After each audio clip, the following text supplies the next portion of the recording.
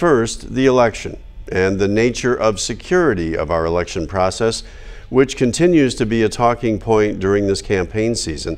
And that's the reason a local group is working to bring more transparency to those issues.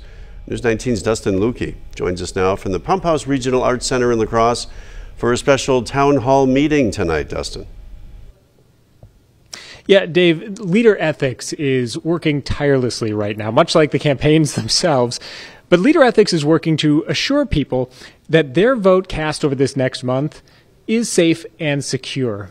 And in doing so, they're hosting a live forum, a town hall setting tonight with four former members of Congress, three Republicans and a Democrat, plus La Crosse County Clerk Ginny Dankmeyer to talk exactly about what is and what isn't happening with our elections. And to talk a little bit more about this program and Leader Ethics effort itself is the executive director, Lee Rasch. Lee, thanks for being with us tonight. I'm glad to be here. Thank you so much. So you're hosting a number of, of these these forums right now, these talks about election security. It continues to be a big topic of discussion.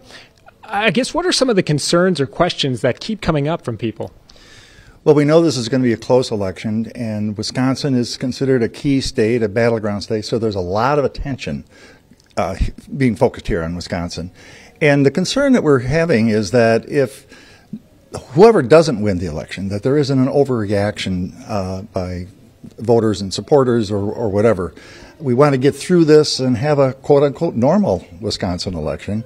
And then we'll obviously regroup and figure out how the new leadership is going to take us forward. So that's our goal. Yeah, and, and with that, with from these events that you've had, from uh, the discussions that you've had with people, what are ways folks can talk with their neighbor, their family about the elections? Because it is so important. You know, we say don't talk about politics and religion, but we need to have these discussions. Yeah. Absolutely. You know, uh, the political divide is just another form of a structural conflict, and we have all kinds of structural conflicts in organizations and in communities and it never gets better on its own. And, and, so it takes leaders to bring people together. There are groups that can come in and they have uh, workshops and formats to try to help people become better listeners and appreciate the different values that people have.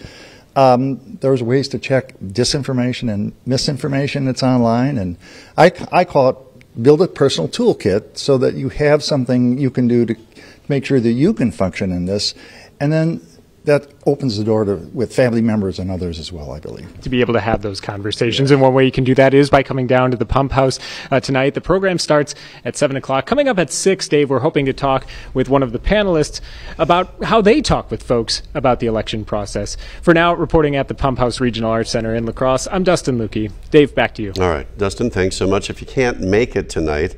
We do plan to live stream the event on our website, wxow.com. Again, all that begins at 7 o'clock.